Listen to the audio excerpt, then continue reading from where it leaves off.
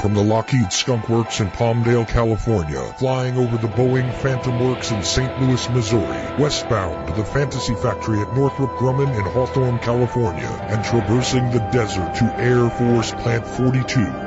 Welcome to the show that exposes black budget aerospace technology hidden deep within the military industrial complex itself. That's classified. Your host, Michael Schratt. Well, good evening, everyone. Uh, I want to thank you for joining me. Uh, I'm coming to you from Phoenix, Arizona. It's a little bit rainy out here. I want to thank Danny Romero for giving me this opportunity to actually have this program. Uh, can't believe uh, it's actually come to be a reality. I'll give you a brief overview of what I'd like to discuss uh, with this radio program.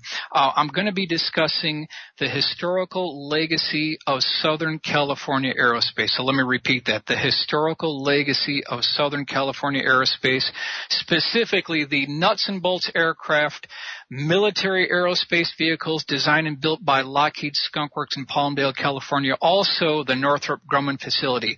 We should also include Boeing Phantom Works, although they're based out of uh, Missouri. So that's kind of a, a, brief overview of what we'll be discussing in this radio uh, show.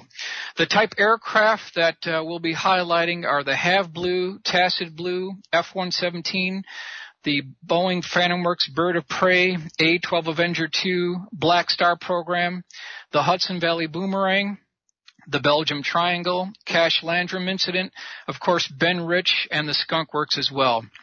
And in this particular program, when we discuss UFOs, it's always, repeat, always going to have a military industrial complex tie in. One way or the other, I'm always going to tie it back to either Lockheed Martin, Boeing, Northrop Grumman, one of the defense contractors primarily on the West Coast. So that's kind of a brief overview.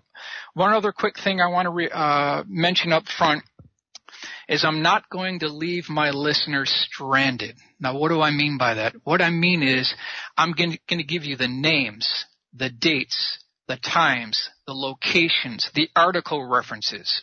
So just to let you know, I'm not making this up. You're going to get the actual articles and so you can verify this for yourself. And that's really how I want to open this up. We've got a lot of material to cover here.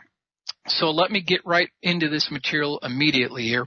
And I'm going to start you out with a very interesting statement that was made by former President Ronald Reagan. And this is part of a book called The Reagan Diaries on page 334.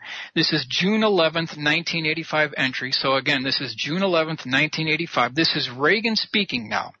Quote, lunch with five top scientists. It was fascinating. Space truly is the final frontier. And some of the developments there in astronomy, etc., are like science fiction, except they are real. I learned that our shuttle capacity is such that we could orbit 300 people. So, ladies and gentlemen, I, I pose to you a question. Now, Wikipedia says that the shuttle has a capacity of seven astronauts with uh, extended for perhaps eight so we're basically talking about seven astronauts. How in the world are you going to get 300 people into space? Even if you launched all shuttles at the same time, how could you orbit 300 people? It's just not going to happen. So the question is, did Ronald Reagan know about a secret space program? Was he briefed on something that we were never told about? Is there such a secret space program? Now, what I want to do is I want to take you back in time and give you the reference works to back this up that might be able to support the existence of a secret space program. Okay, so stay with me on this. Uh, this is Amarillo Daily News, November 26, 1955. I don't want to read too much on this radio program, but to give you the full effect I have to give you these references so that you can get this down here. It says aircraft industry firms now participating or actively interested in gravity include the Glenn L. Martin Company of Baltimore, Convair of San Diego, Bell Aircraft of Buffalo, New York, Sikorsky Division of United Aircraft, Lear Incorporated of Santa Monica, Clark Electronics of Palm Springs, and Sperry Gyroscope of Great Neck, Long Island.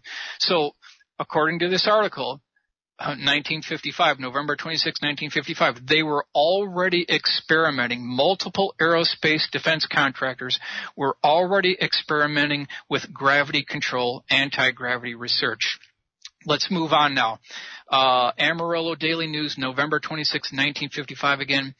The Institute for Advanced Study and Purdue Research Foundation. That's what we want to focus on here. It says centers where pure research on gravity now is in progress in some form include the Institute for Advanced Study at Princeton, New Jersey, and also Princeton University, the University of Indiana School of Advanced Mathematical Studies, and the Purdue University Research Foundation. So when we hear about black programs, anti-gravity research being done in the mid 1950s, the articles, the reference works bear that out. We have a paperwork to back this up. Now, Let's move on to Amarillo Daily News, November 29, 1955. Many in America's aircraft and electronic industries are excited over the possibility of using its magnetic and gravitational fields as a medium of support for amazing flying vehicles, which will not depend on air for lift. Spaceships capable of accelerating in a few seconds to speeds many thousands of miles an hour and making sudden right sudden changes of course at these speeds without subjecting the passengers to the so-called G forces caused by gravity's pull are also envisioned. I mean this is bombshell statement here. When we hear about these UFOs accelerating like a spark off a grinding wheel, and then making these 90 degree right angle turns at thousands of miles an hour. This is exactly what this article is talking about. 1955, we know that Neil Armstrong and Buzz Aldrin landed at Tranquility Base on July 20th, 1969 during Apollo 11. Were they briefed on these studies that were done in 1955? That's a question we should ask. And what was the result of these studies? Amarillo Daily News, November 30th, 1955. That's the reference for this quote. The current interest in America's aircraft and electronic industries is finding out whether gravity can be controlled or canceled out is not confined to imaginative young graduates of engineering and scientific schools. Aviation as we know it is on the threshold of amazing new concepts the United States aircraft industry already is working with nuclear fuels and equipment to cancel out gravity instead of fighting it. This is Lawrence D. Bell canceling out gravity instead of finding it. This is exactly the holy grail of aerospace. Essentially, there's two holy grails. Laminar flow control, where you allow the separation of air molecules to, to happen much further back on the leading edge of the wing, sucking in the boundary layer, and then anti-gravity are certainly the holy grails. Okay, next one. Council Bluffs, 1127 1955. The subheading is Conquest of Gravity, Aim of Top Scientists in U.S says one almost fantastic possibility is that if gravity can be understood scientifically and negated or neutralized in some relatively inexpensive manner, it will be possible to build aircraft, Earth satellites, and even spaceships that will move swiftly into outer space without strain beyond the pull of Earth's gravity. They would not have to wreck themselves away through the brute force of powerful rockets and through expenditure of expensive chemical chemical fuels. I mean, this is it, ladies and gentlemen. This is what we're talking about here. On January 28th, 1986, when the Challenger astronauts died, I mean, w- were they aware of these studies going on here? I mean, do we really need these ridiculous, obsolete liquid rockets? The Nazis were using liquid rockets prior to World War II, and yet here we've got the same technology being proposed decades later. Um, why are they still using liquid rockets? Why are we still using obsolete liquid rockets, solid rocket propulsion? They've got it, folks. It's been done. It's a done deal. Amarillo Daily News, November 9th, 1957. Got a couple more here. We are entering the age of anti-gravity space travel. Spherical craft made weightless and propelled by anti-gravity engines may soon attain almost the speed of light, 600 million miles per hour. This is not a dream. Since 1953, the Canadian government has been working on Project Magnet, at least 14 U.S. universities and other research centers are trying to crack the gravity barrier. Teams of researchers and engineers from four major American aircraft companies have anti-gravity designs and data on their drawing boards, proving that whatever goes up does not necessarily have to come back down. so we're talking about spherical craft that can attain speeds almost at the speed of light. Where have we heard this before? You know, we're talking about interstellar space travel using this technology. It's a done deal. Now, Here's something I want to also bring to, to point here. New York Times, August 28, 1955. It says Martin planning space research. Uh, while we make no pre- pretensions toward a frontal attack on negating gravity, many other scientific barriers, flight beyond the speed of sound, for example, have been breached not by annihilation, but by a better understanding of them. The new laboratory will be called RIAS Incorporated and this is a, a program going on within the Martin Company. Now, it's interesting to note, and some of you may already know where this is going. What happened in 1995 to the defense contracting industry? Um, I'm talking about the Lockheed Corporation. And what corporation did they merge with? Uh, in 1961, the Martin Company merged with the American Marietta Corporation, forming Martin Marietta.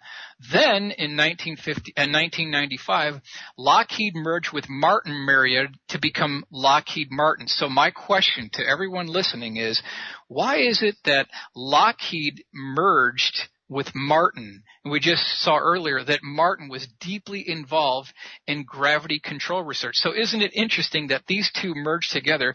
We know that Ben Rich was intimately involved in classified programs.